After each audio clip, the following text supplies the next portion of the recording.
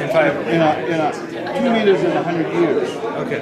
Okay. And the rise now is less, is 30 centimeters in 100 years. So two meters in a 100. But it might have been half a meter in 10 years. See, you see, uh, the record back there is not fine enough to tell when it's leaked. The- As you, as you go further back, you, here, here you got a satellite and you say, okay, this year it grows this much, and it grows this much. Well, back there, you're, you're using, um, you're using ice core records, you're using uh, deep sea records, you're using different things like that. So to, to tell what the, to tell what the sea level is. So it's a, it's a proxy record. And that's just from like displacement in the water of large chunks of No, ice. what happens is, what happens is, is that um, the Greenland ice sheet is a big dome of ice, and then there's outlet glaciers that come down, and it's really pronounced on the east side, big deep fjords. Well, there's fjords on the west side too, but you can't see them as much because they're full of ice. And so those, so those ice in those fjords, those are the outlet glaciers, and they're flowing to the sea. And then there's a floating, a little floating tongue that's already in the water. And so basically the ice, the ice is, this part is sort of floating and supported and then it goes down and meets the, it meets the ground down here.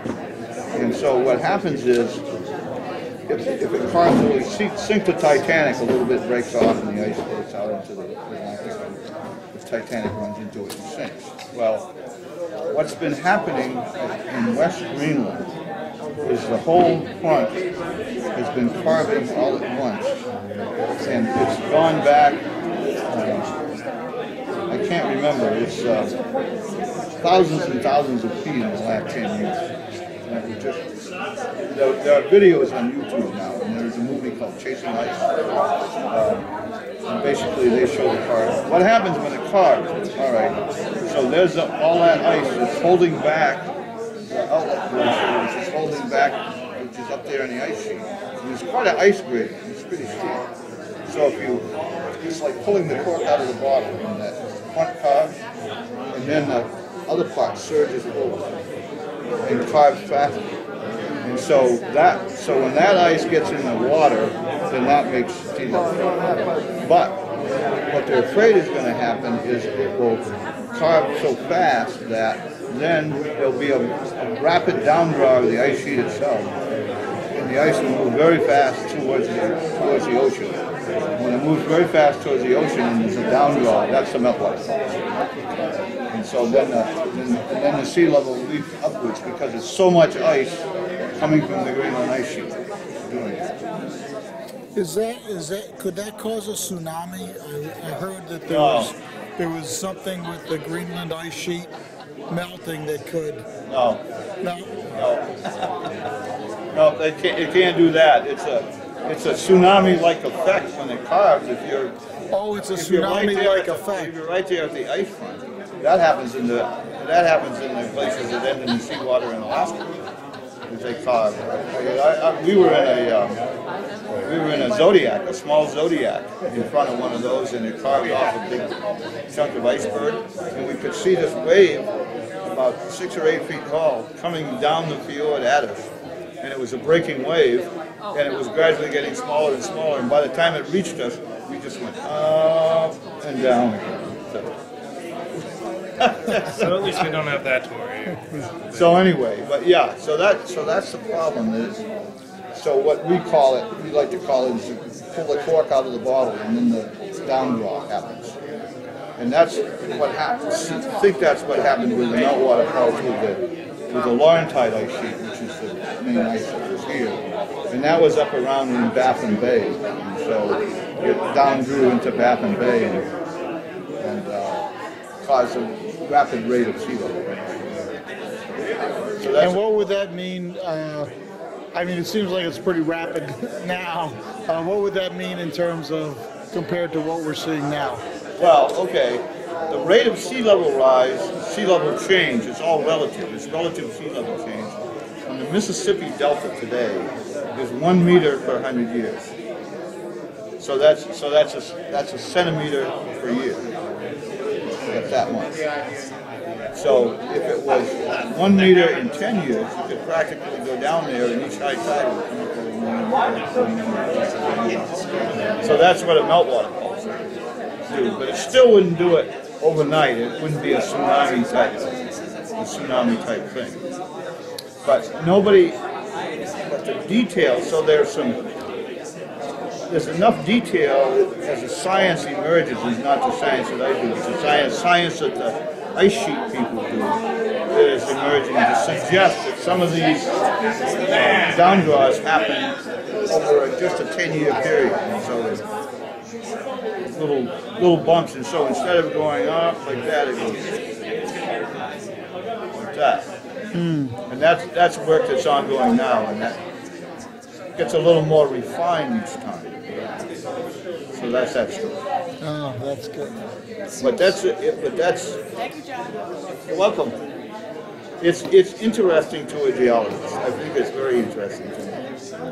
Um, I think that might be more of a sort of a universal pattern in in natural phenomenon because they, they used to think their evolution happened at sort of just a constant rate, but now they see punctuated equilibrium. Yeah, that would be like that would be a good analogy. That would be a good analogy. And see, we're not helping it out by by contributing to global warming, and so we're melting the ice. And so what happens, what's happening in Greenland is that the ice is basically the well, the Greenland ice in the main, main ice sheet is what's called uh, cold base, polar, and it's frozen to the bed.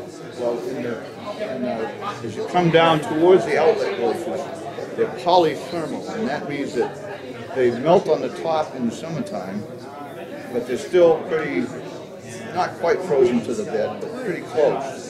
So they melt on the top in the summertime, and then they freeze up again. That's what polythermal. Warm base is if the water goes all the way down to the base of the ice, and then it does two things. It makes it warmer down there, so it melts all the way up, and it also uh, it also lubricates the base of the ice so it flows faster. And so that's been happening on the outlet glaciers in Greenland at least since 1988.